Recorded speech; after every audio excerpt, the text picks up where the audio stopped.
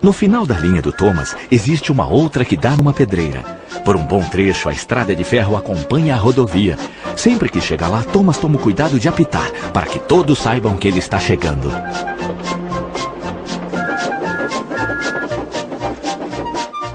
Certa manhã, um policial corpulento estava sentado perto da linha. Thomas gostava muito de policiais. O oficial que havia acabado de se aposentar tinha sido um grande amigo seu.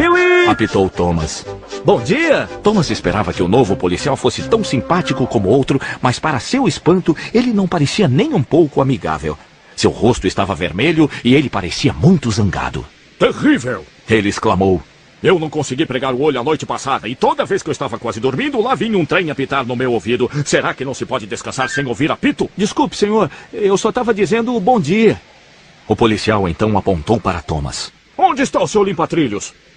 Mas eu não limpo trilho, senhor. Não me venha com gracinha! Replicou o policial. Então ele olhou para as rodas de Thomas. Também não estou vendo nenhum protetor de rodas. E ele escreveu em seu caderninho. Os trens, quando em vias públicas, devem ter suas rodas cobertas e um limpa-trilhos na frente para que pessoas e animais não sejam jogadas para baixo das rodas. Você não tem nada disso, então você é perigoso.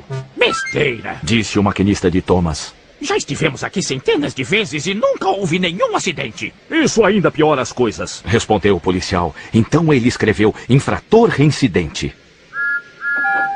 Thomas foi embora, bufando triste pelo caminho.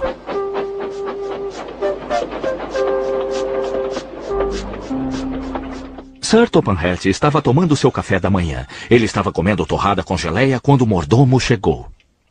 Com licença, telefone para o senhor. Droga de telefone. Disse Sir Topanhat. Sinto muito, querida. Disse ele para sua esposa. O Thomas está tendo problemas com a polícia e eu preciso sair agora. Quando Sir Topanhat chegou à estação, o maquinista de Thomas lhe contou o acontecido. Perigo para o público? Pois sim. Vamos ver o que ele tem para me dizer. E Sir Topanhat foi conversar com o policial. Mas por mais que ele conversasse com o policial, não houve jeito. Lei é lei, disse ele. Não temos como mudá-la. Sir Topanhat estava sentindo-se exausto. Sinto muito, maquinista. Disse ele. Ficar discutindo com o policial não vai dar em nada. Parece que teremos que arranjar para o Thomas um daqueles limpa-trilhos afinal. Mas todos vão rir de mim, senhor. Disse Thomas. Vão ficar dizendo que eu pareço um bonde. Sir Topanhat olhou fixamente para o Thomas e depois começou a rir. Muito bem, Thomas. Como foi que eu não pensei nisso antes? Precisamos de um bondinho. Quando eu estava de férias, eu conheci um simpático bondinho chamado Toby.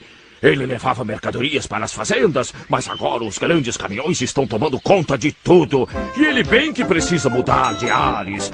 Ele tem limpa-trilhos e protetores de rodas. Vou escrever para o superintendente dele imediatamente.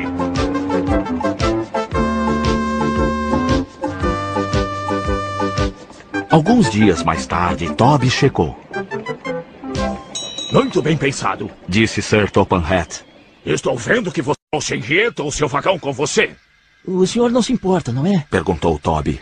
O chefe da estação queria transformá-la num galinheiro. E isso jamais poderia acontecer. É claro que não. Disse Sir Topanhat. Não poderíamos permitir uma coisa dessas.